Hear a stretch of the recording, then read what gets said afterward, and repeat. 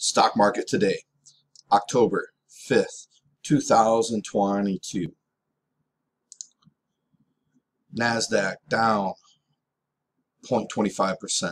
S&P 500 down 0.20%. U.S. Treasury up 11.6 basis points. Gold down 0.31%. Bitcoin down 0.87%. Oil up 1.57%. This is an email I, I get from the um, We Study Mar Markets by the Investors Podcast Network. And sometimes, sometimes I, I don't necessarily feel in alignment with their sort of general sentiment or narrative on things. You know, for example, here, seems like they're kind of like pumping this up. Stocks traded sharply lower this morning following the best two-day trading period since 2020. And uh, also talking about um, people having optimism on the Fed pivoting from its rate hikes and talks a little bit about uh, a little bit of this oil rally after OPEC is confirming to cut production.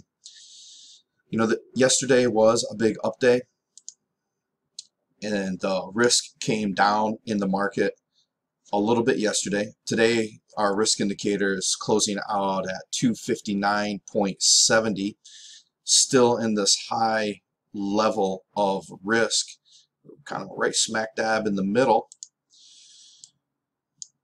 And here's a graph of it going back to August 29th. We see that we started in the low end of risk and we've been steadily climbing higher in risk.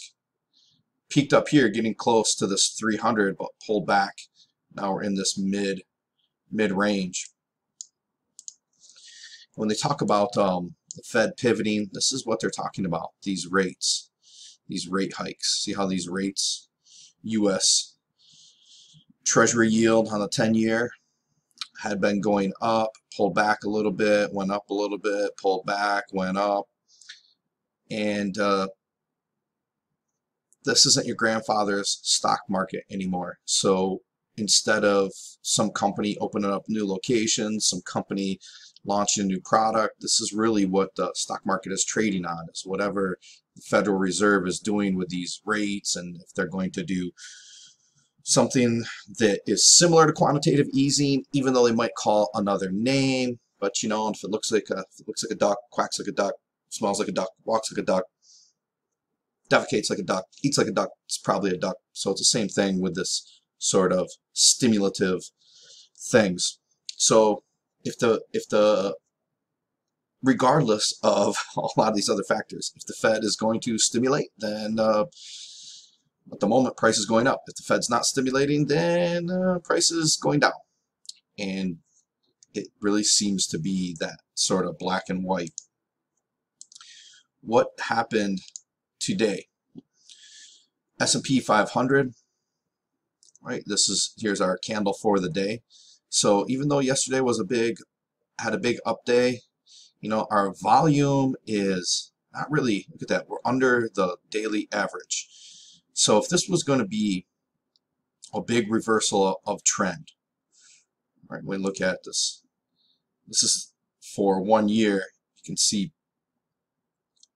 going up around this time was the peak and it's just been going down, right? If we're going to reverse this trend, I guess we need to see some more volume coming in, buying volume.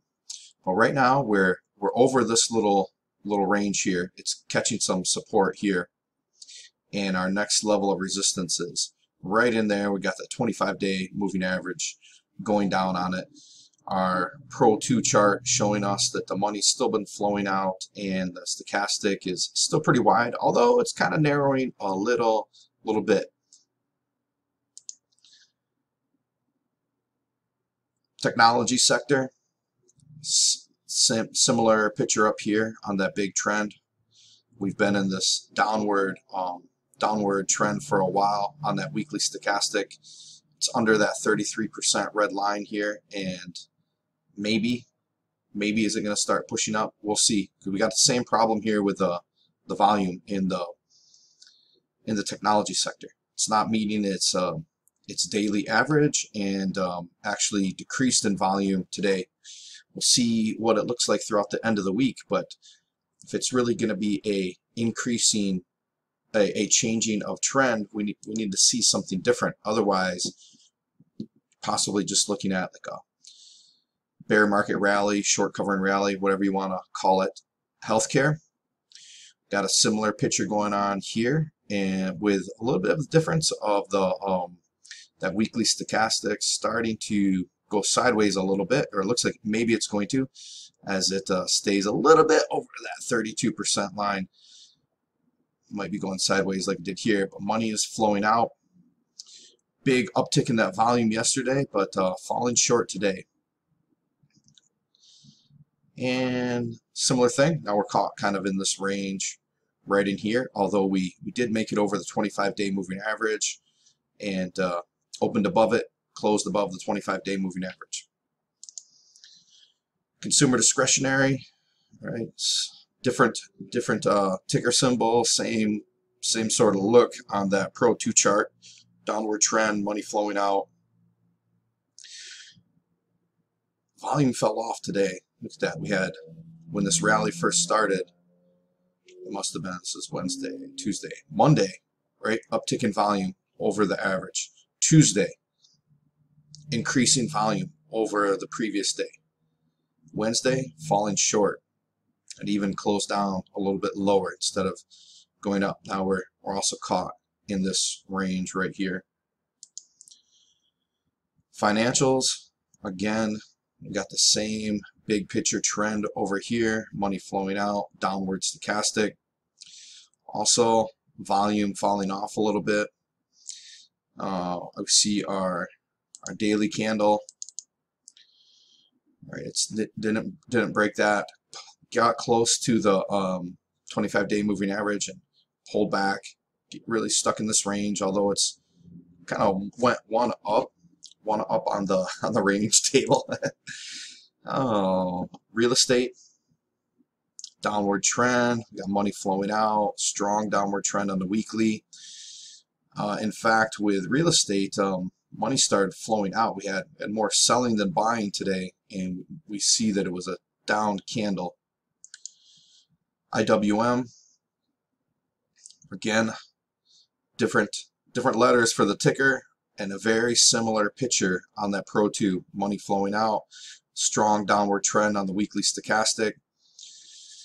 Volume, same thing. We had yesterday, we had an increase in volume from Monday, but today volume uh, significantly fallen off, and we see a, we see that kind of reflected here in today's candle.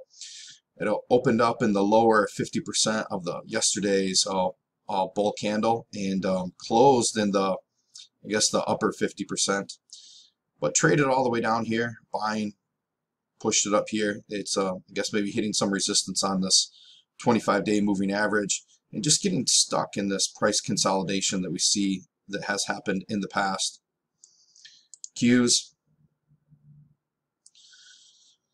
Same thing on the Pro 2, strong downward trend on the weekly, money flowing out. Volume is, is not looking good if this is going to be some sort of bear, bullish day to celebrate or bullish week to celebrate. This this is we need to see some volume picking up. And um, although we we got a, a, wider range body, a whole wider range of trading too, but um, wider range, eh, kind of a little bit wider range of that, but nonetheless, it's basically went sideways. And what I mean by that is, look where it closed here yesterday. Look where it closed here today. It's basically just went sideways.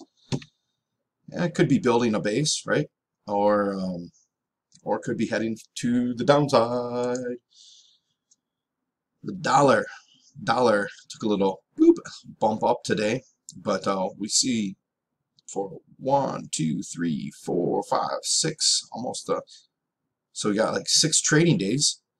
Uh, the ended ending of last week and beginning of this week, the dollar has just been selling off, even though there's been a little bump in there.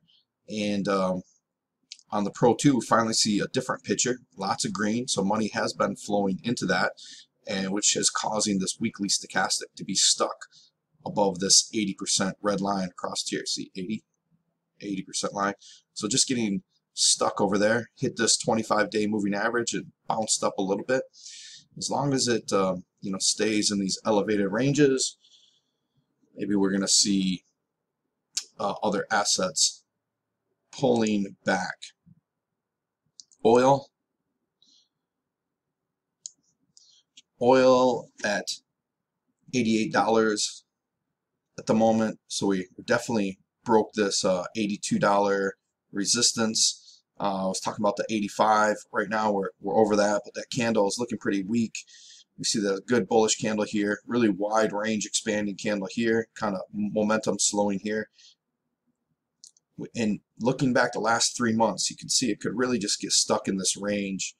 I wouldn't be surprised if it gets stuck somewhere in this. We see up here to the to the 95 and maybe staying somewhere from 86 to 95 or maybe maybe this um, high 80s and falling back down into here but definitely has has a bit of this this range from the high 90s potentially down a real wide range into the mid 70s GOLD GOLD sold off a little bit, hit that 50-day uh, moving average and came down. Tested it yesterday.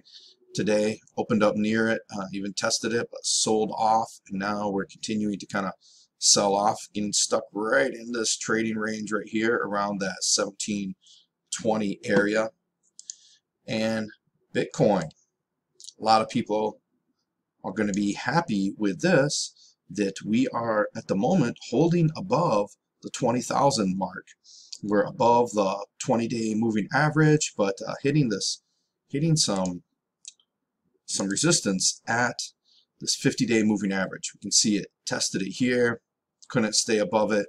Testing it here right now, it's it's not really doesn't seems to be on the bottom side of that.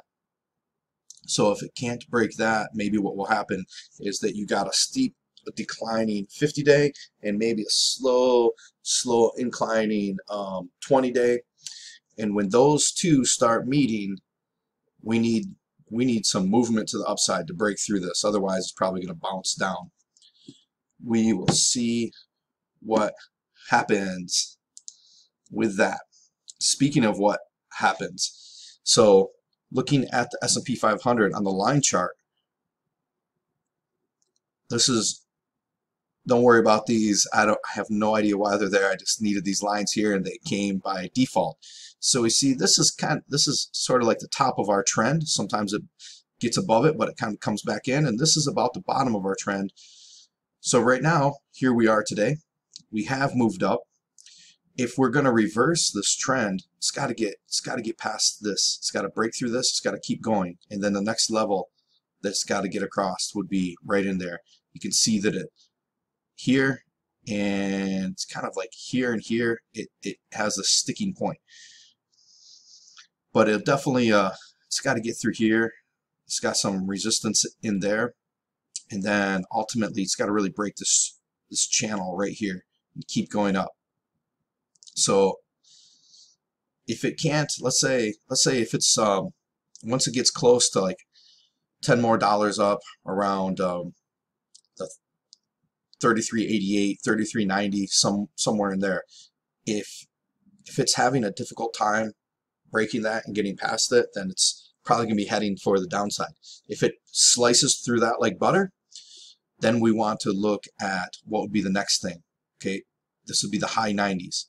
If it starts breaking over this high 90s and and goes through this $400 area like butter too, then then maybe we're going to see a good reversal to the upside. But if it doesn't, if it's if it's weak, if it's doing that, if it starts really struggling, then we'll probably see what happened here. Right, drop down right here, rallies up, test this, can't hold it, drop down, rallies up. Eventually, here it breaks this breaks this this trend here, but can't hold it and drops down. So, what can you do in the meantime? You can you can paper trade if you don't know what to do if you if you literally don't know what to do, if you're looking to other people to figure out what to do, paper trade, try something, learn from experience. Don't rely on the suspect opinion of other people when you can test out your own opinions. You can take in information from other people and use it to, to try to come up with some decision and test the accuracy of your decision in paper trading account, see what happens. And what you can do to help yourself with that is you go to ihavesuccess.com, download all four of these, download one of them, how many ever you want, use that, use whatever's here to your advantage, I'll put stuff right into your inbox daily. Use all that stuff. It's free. So go ahead and do that. And you guys have a fantastic day. We look forward to seeing what happens in the stock market tomorrow. Bye-bye.